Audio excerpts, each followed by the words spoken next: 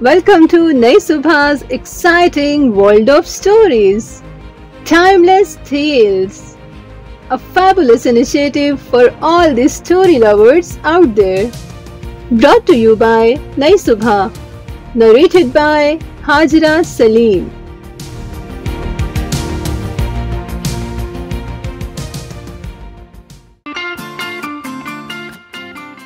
फारसी अदब से एक किस्सा मशहूर है कि एक दिन एक बादशाह अपने महल में बैठा आराम कर रहा था। अचानक उसके कान में एक सदा आई। सेब ले लो लाल लाल मीठे सेब ले लो। बादशाह ने जब बाहर देखा तो एक देहाती गधा गाड़ी पर सेब लादे बाज़ार की तरफ़ जा रहा था।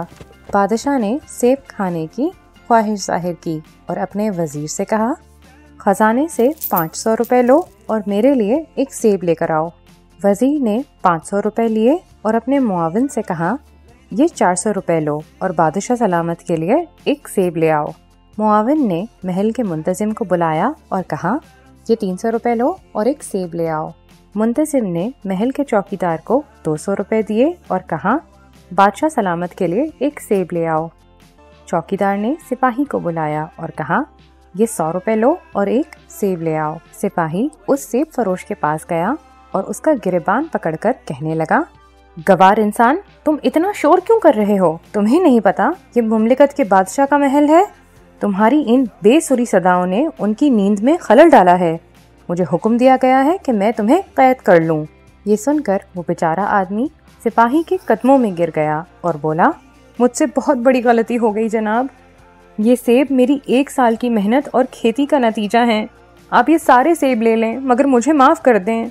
सिपाही ने सारे सेब लेकर उनमें से आधे सेब चौकीदार को दे दिए और कहा, ये सौ रुपए के सेब हैं।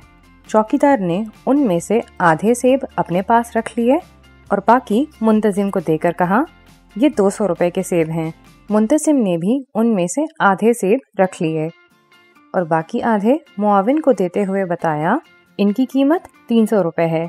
मुआविन ने उस ढेर में से आधे सेब वज़ीर को दिए और कहा ये सेब चार सौ रुपये के हैं।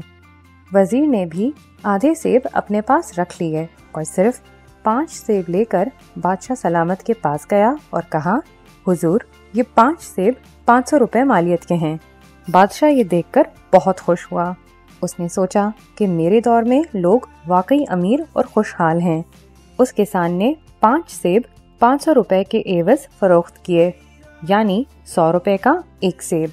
इसलिए बेहतर होगा कि महल के खजाने को भरा जाए। और ये सोचकर बादशाह सलामत ने टैक्स बढ़ाने का ऐलान कर दिया। टाइमलेस टेल्स में अब तक के लिए इतना ही। आपसे मुलाकात होगी एक नई और दिलचस्प कहानी के साथ। देन आपकी समातों का बहुत बहुत शुक्रिया।